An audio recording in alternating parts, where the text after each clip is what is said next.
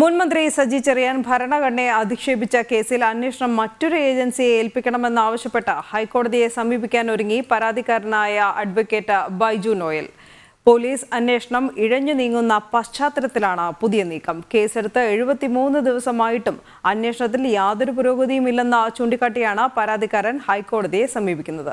മാണ് പോലീസ് പൂർത്തീകരിച്ചത്. പക്ഷേ ഈ കേസിലാവട്ടെ എഴുപത് ദിവസമായിട്ടും യാതൊരുവിധ നടപടിക്രമങ്ങളും ആരംഭിക്കാൻ പോലും പോലീസ് തയ്യാറായിട്ടില്ല.